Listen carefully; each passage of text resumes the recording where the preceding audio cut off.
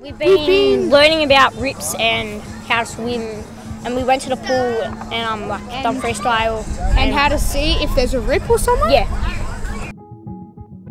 I've got three kids that have been through the program before and they have learnt so much from this program.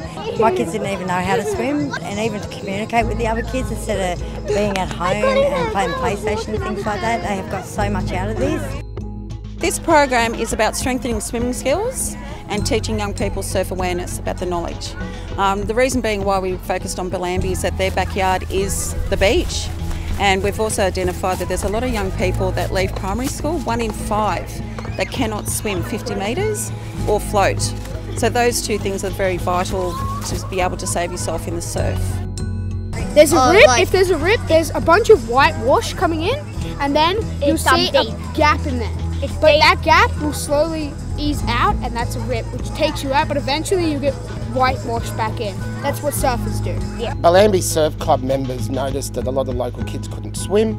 Then Bellambi Neighbourhood Centre discovered the same thing and they were concerned. So we had all the community got together and we managed to get the local bowling club to put money into the project so that we can run the beach side of the surf awareness plus take kids to a pool and learn to swim. And And they've been teaching us how to um, float, swim. Dive. and we've got children from Bellambi, Corrimal, and we go as far as Unanderra. There's some kids that are coming in from Unanderra with the Care South team. They're transporting them in each day, and they're all, you know, kids that probably wouldn't be experiencing this normally.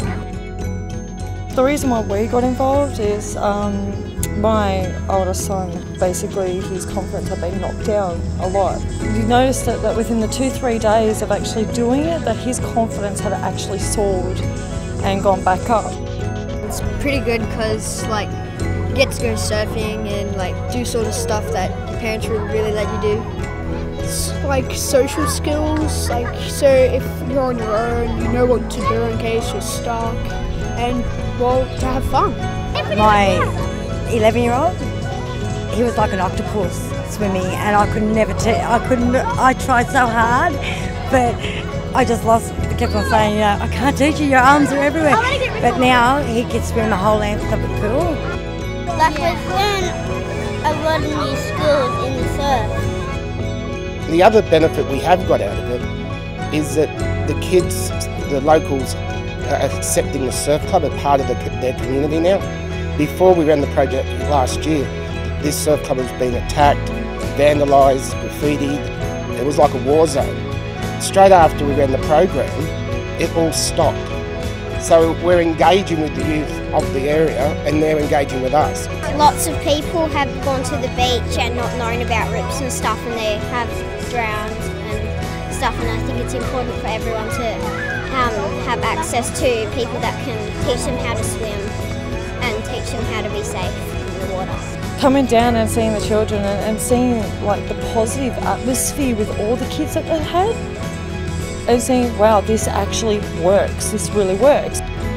The more we keep on going with this program, the better. The more lives you think about it are going to be saved of actually having the knowledge of knowing what to do. I reckon there should be at least the same program at every life-saving club, so everybody can enjoy it, uh, not just us.